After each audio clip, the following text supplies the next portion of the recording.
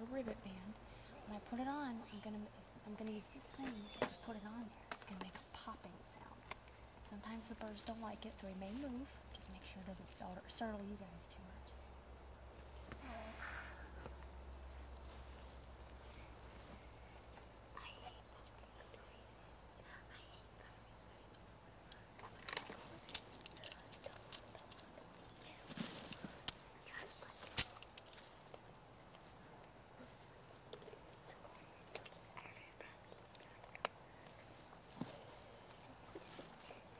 No, it's not gonna be loud. It's gonna sound like it's in the. I to make sure it lines up properly. You don't want things getting stuck in these bands. How big is an actual e- an eagle's egg? Um, I could hold one in the palm of my hand, and it was about the size of my hand. When they hatch, it's probably about the size of that camera right there. It's a little white fluffy ball. It's really cute. We do. s- About the size of the camera, yeah. And all white and fluffy.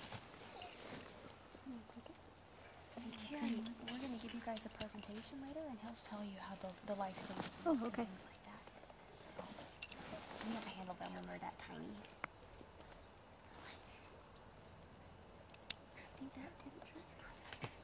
So you were expecting mom and mom or dad or Usually they are flying around. When- they're not around, it means that they're fishing probably. and mom and dad do stay with them? Was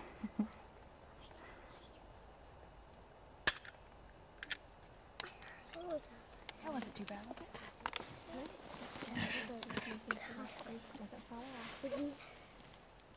Yeah, we're done with